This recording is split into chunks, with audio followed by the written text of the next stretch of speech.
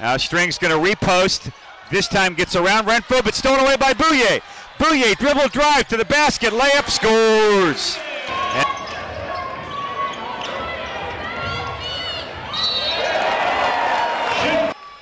Reitman bounces it inside to Lull under a minute to go in the half.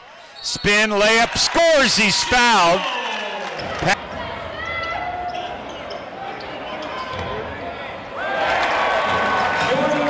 Found to Boom. Boom racing to the basket. Bounce it to Reitman. Turn, jump, hook, and in. Top of the circle. Right side dribble drive. Ratinho for a three from out top. Good.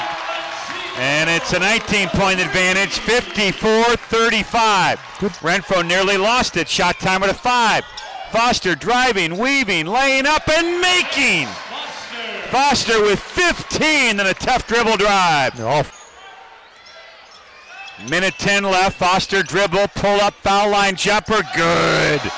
And timeout, Kyle Smith.